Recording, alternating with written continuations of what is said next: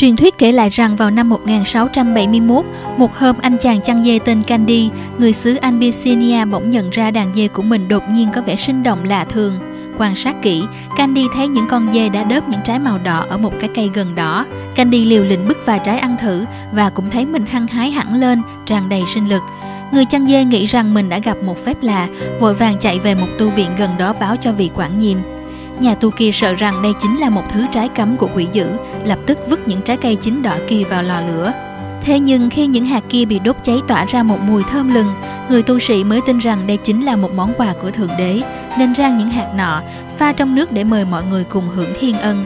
Thức uống đó chẳng mấy chốc trở nên nổi tiếng và truyền đi mỗi lúc một xa hơn nữa. Từ đó cà phê ra đời.